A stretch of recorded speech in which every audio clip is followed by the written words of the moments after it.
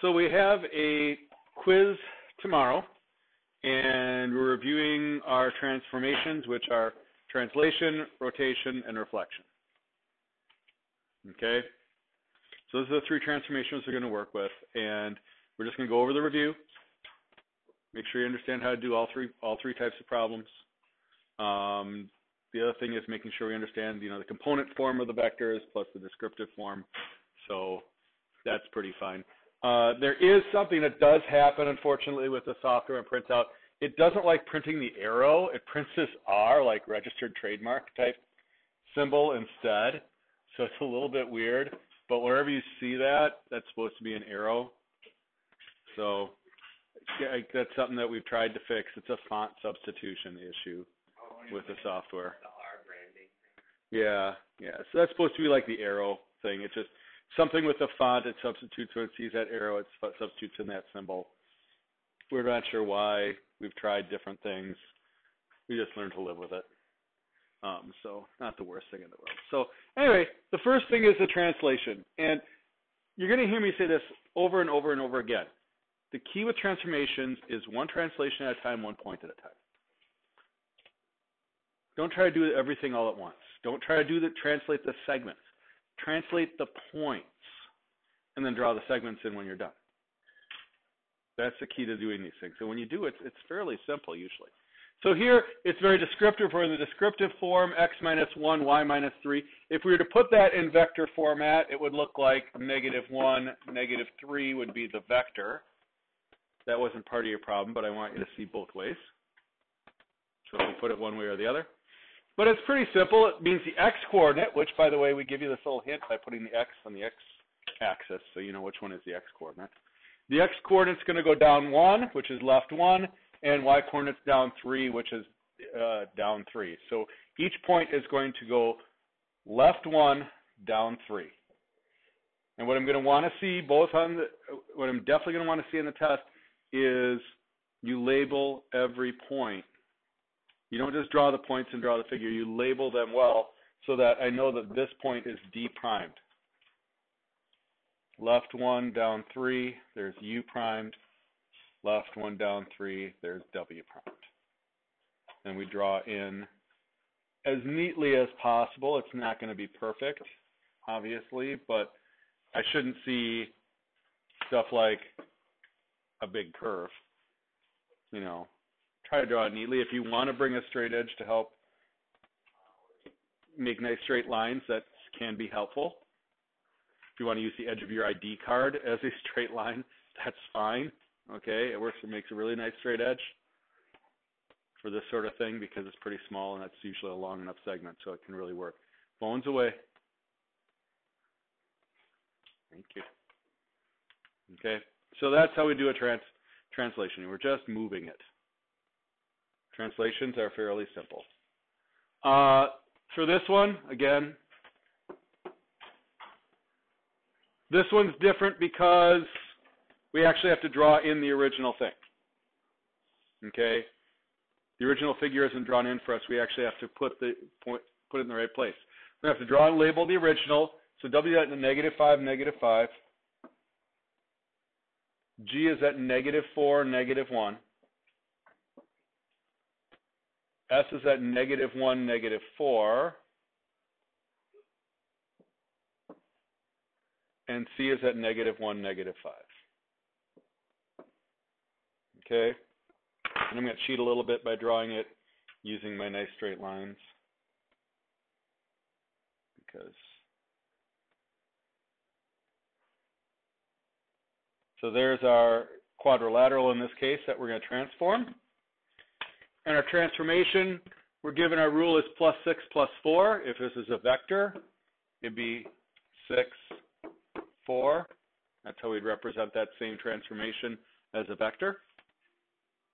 Now remember, when we use the pointy things, we're talking about the transformation, not the individual points that occur when we're done. Yeah? Do we have to write that on every one No, you don't have to. I'm just showing you in case it showed up a different way or if it asked you. So you know what both representations look like. Um, and again, it's pretty simple. We're going to go up six and right four for every point, and you just do it one point at a time. So I'm going to start with W, Up 6 would be here, and then right 4, 1, 2, 3, 4. We're going to mark that point W primed. Now, if it says list the coordinates of the points, I can't, I don't have the full instructions here. I want you to list the coordinates of the points when you're done, as well as do that. We may want to note right away that W primed is at negative 1, 1. Okay? And we could also work this, um, some people like to work it the other way. They say, okay, negative 4 plus 6, I could list my points first and then mark them instead of just doing it all graphically. So I could do g primed is going to be at negative 4 plus 6 is 2. And negative 1 plus 4 is 3. And then plot that. So 2, uh, 3. That doesn't seem right.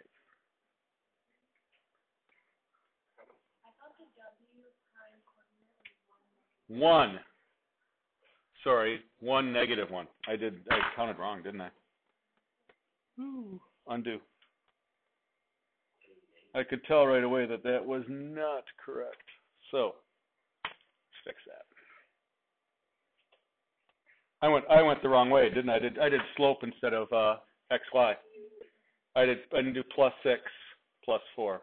That's better. I did slope. W prime there is actually at 1, negative 1, positive 1, negative 1. Sorry, went the wrong way. G prime is at 2, 3. That makes more sense now. If your shape doesn't look the same, you know you've made a mistake. So it's actually pretty simple to work with in a lot of ways. Uh, C primed is going to be over here at um, 5, negative 1. And S primed is going to be at 5, 0.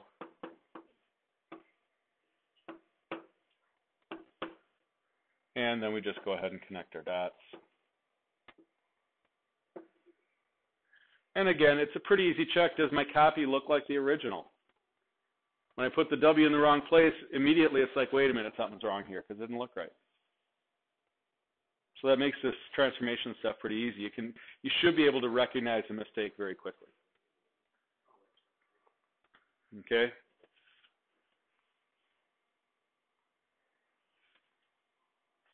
Find the component form of the vector that translates p, p at 3, 2 to p primed at negative 1, 7.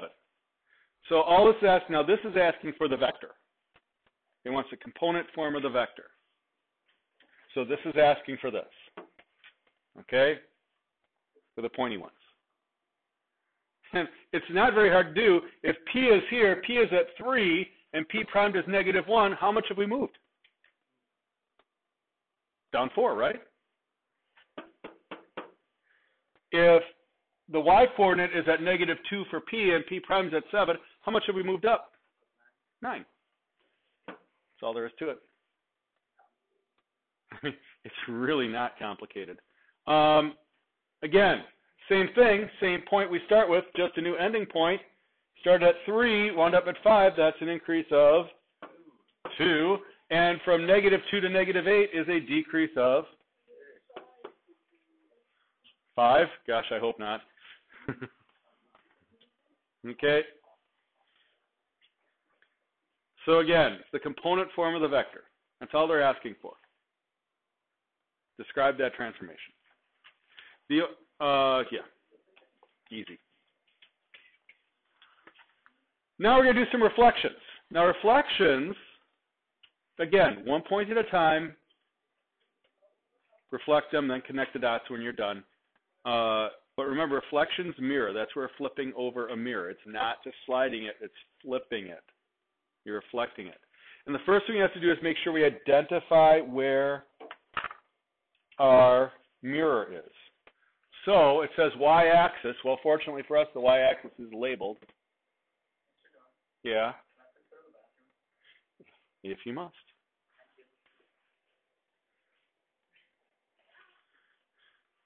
Okay?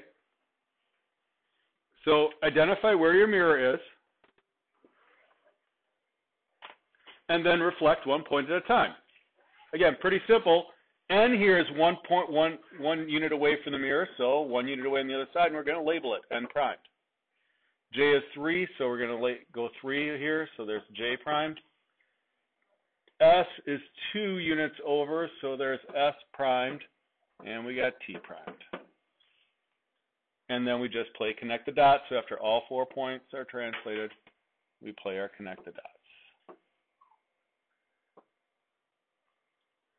And there we have a nice reflection. Okay? Again, can't emphasize enough. You need to label the points.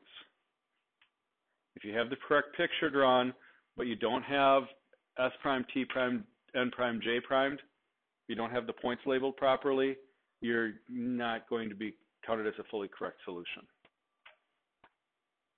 Because, and I need to not just see the shape, but know that you know where each point is going in the transformation.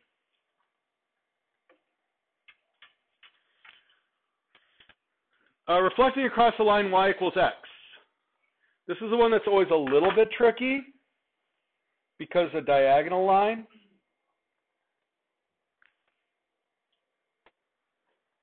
It's that diagonal is y equals x, y equals negative x is the opposite diagonal.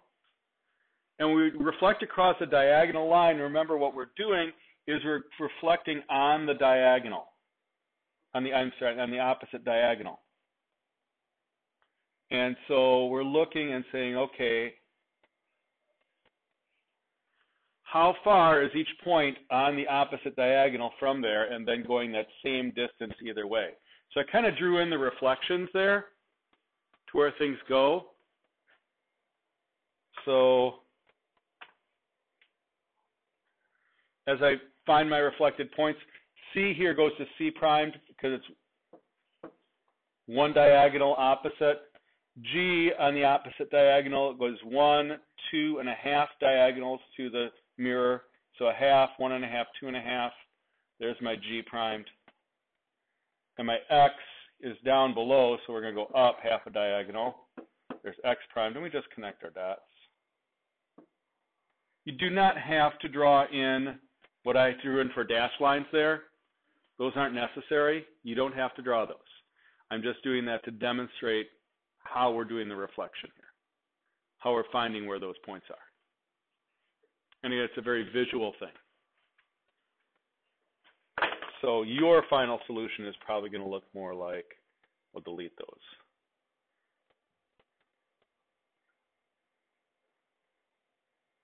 Your final solution should more, look more like that. Okay?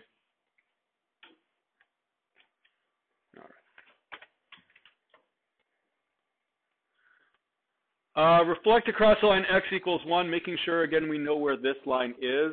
Finding the mirror is the important thing. So in this case, x equals 1. Notice where the x-axis is. x equals 1 is the vertical. Oops. Thought I had that selected, but apparently not. The vertical line, it doesn't want to take that. If I put it there. There we go. There's my x equals 1 right there. Okay? There's x equals 1, and it's because x equals 1. x equals 1, not y equals 1, x equals 1, because that's what it says. And read this carefully, because I got a lot of people who see the x, and they just go, oh, x-axis. That's not what it says. You got to read it carefully. And then we just reflect each point across that mirror. So Q go, is 2 from the mirror, so 2 points. So two, over here, there's Q primed. T is 1, 2, 3, 4, so there's T primed. E is 3, E primed, and C primed. And we connect our dots. And if it asks you to list the coordinates as well, once you've done the reflection, you can always list the coordinates when you're done, right? Okay. Rotations. Now, rotations are where things are going to get a little interesting. Because this is, again, where you have to twist things. And it can get a little bit a little bit confusing with rotation. Now, I promised you on the podcast, and I have, and I have to finish running them off, but I have these. I'm going to give you these little half sheets that give you the coordinate rules for rotations. They also give you the coordinate rules for reflection and stuff like that. So if you want the coordinate rules, I'm going to give you those because I promised you I would give you those.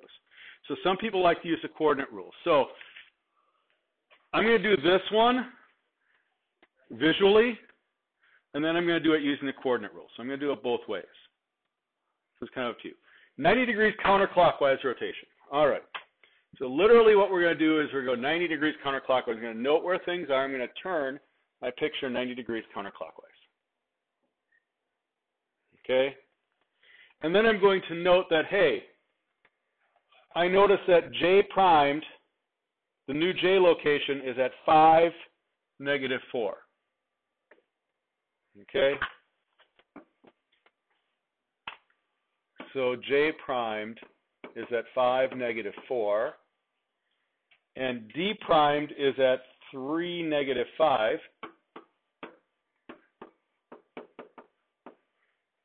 And the new T location is at 2, negative 3.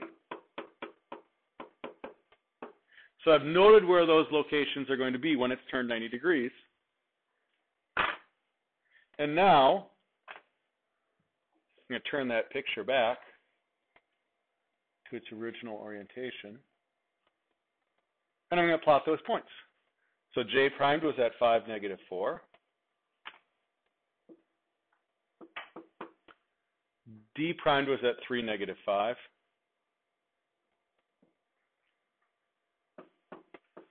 And T primed was at 2, negative 3.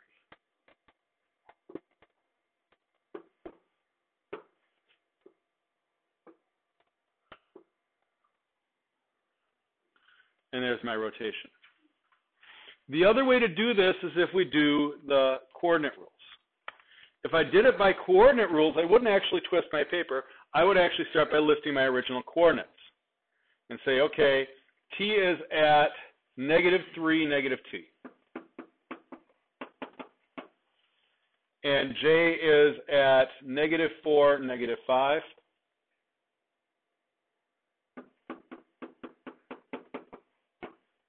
and D is at negative 5, negative 3. Okay? So I'd list, this is the other way of doing it. I'd list those original coordinates, and then notice that for a 90 degree rotation counterclockwise, the rule is AB goes to negative BA.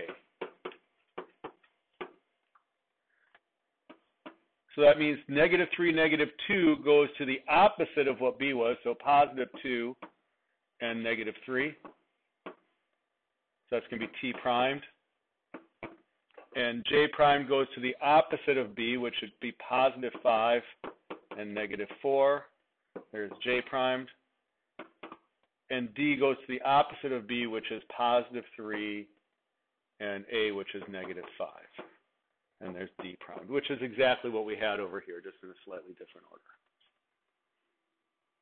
And then I'd plot these points instead of doing the physical rotation.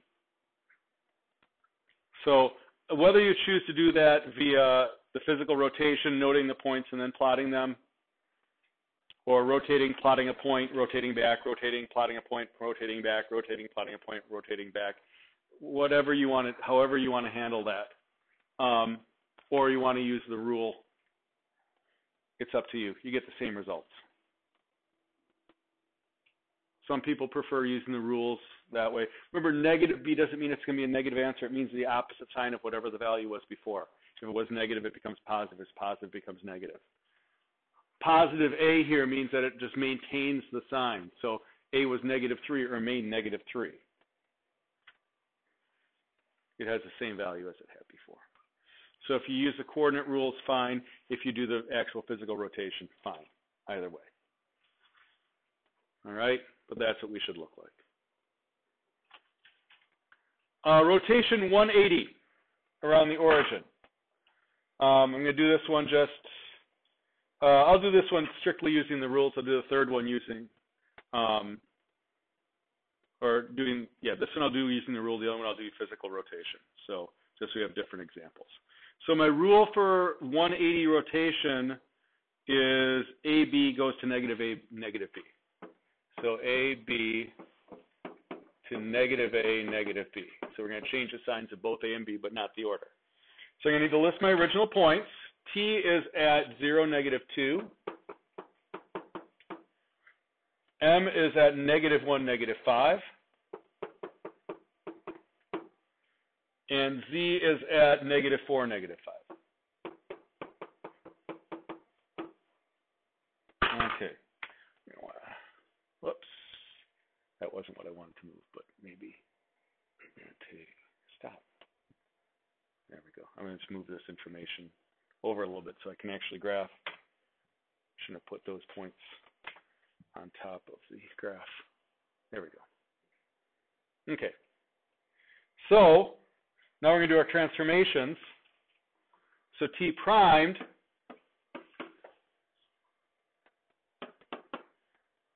we're going to keep, we're going to change the values. So negative A, negative 0 is still 0. Negative negative 2 is 2. And M primed is going to be at 1, 5. And Z primed is going to be at 4, 5. Okay? We maintain the order, we just change the signs, yes. Fantastic. How would you even know that? I see. Well, but how would you, you're to have to wait till we're done with our review. I can wait, obviously. Okay. So now we plot our points. T primed at 0, 2. M primed is at 1, 5. And Z primed is at 4, 5. And we just connect our dots. And there's a rotation. Pretty straightforward. And again, you don't have to memorize the rules. I will give them to you if you choose to use the rules method. Zero two. T primed is at zero two. Yeah, the original T was at zero negative two.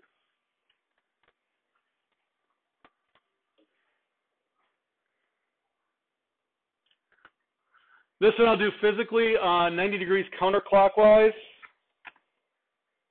So I'm going to take my picture, turn it 90 degrees counterclockwise, the direction indicated. Slide it over so I got some space to write. I can't slide it over too far, I'll lose my thing. There we go. All right, so I've got my new locations, x primed is at negative 5, 4. z prime's at negative 4, 2. And m prime's at 0, 2. Okay. The biggest mistake people make is they don't count correctly the boxes. I can do that too, so I double check. Negative 5, 4. Good. Negative 4, 2. Yep, 0, 2. All right, good. I double count to make sure I've got those locations right because it's super easy to miscount the boxes. Then I rotate back and I plot those points. So negative 5, 4. There's x primed. Negative 4, 2. There's z primed and 0, 2, there's M primed. Connect the dots, rotation is done. And I can see it's a rotation. I mean, it's pretty easy to see. It's the same figure. We haven't changed anything, have we? I mean, all we're doing is moving the figures. The figures are always congruent when we're done. They're always exactly the same side lengths, exactly the same angles. They're congruent figures when we're all done, which is great. Okay, identify lines of symmetry for each drawing, if any. And this literally involves drawing in the lines of symmetry. So literally what you do is you take your pencil or your pen or whatever your crayon, I guess whatever you're using that day, um, and you draw in lines of symmetry. Where's the line of symmetry on the B? across the middle? Well, I know, but deal with it. You get the idea. Okay. Yeah, it's it was hand drawn. Deal with it. Sorry, I'm not perfect. Okay. How about our uh, Green Lantern symbol? Down the middle and across the middle. Okay. So I've got a symmetry line approximately there, and another one there, don't I? I could mirror it either way. I said you were still ready to answer that. That's the do there is. Yeah, Hmm. it wasn't bad. That was being nice. Okay. Any other symmetry in that one?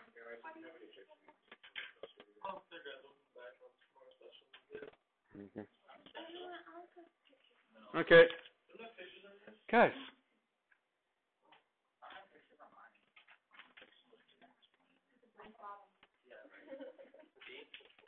Yeah, I got I I ran off ones with X. I told you yesterday that I didn't get the pictures on there. So, all right. So this one, you know, you're not going to redraw these symbols, but let's talk about them. Okay. Rotational symmetry. We're not going to draw rotational symmetry. We just identify how many degrees it has rotational symmetry. And rotational symmetry is simply found by finding the repetitions in the pattern. Okay? How many times does this pattern repeat? Recycling symbol here. Three times, right? Okay? So uh, how- about how many degrees before repetition? How many degrees would I have to rotate this to get exactly the same symbol? No. 90 degrees would be right there. That's not exactly the same, is it?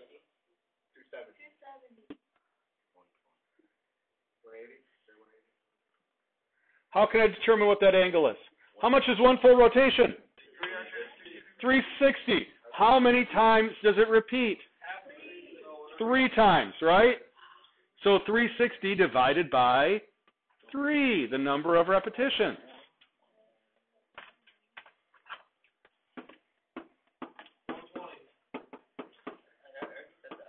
Yeah. So there we go. So that repeats every 120 degrees. This pretty picture here. Isn't that lovely? Okay. How many repetitions are there? Well, one, two, three, four, five, six, seven, eight, nine, ten. Okay, it repeats, Thirty-six times. well, not 36 times, Thirty-six degrees. 30 every 36 degrees, yep. 360 divided by 10 is 36. Now all you have to do Yep, that's it.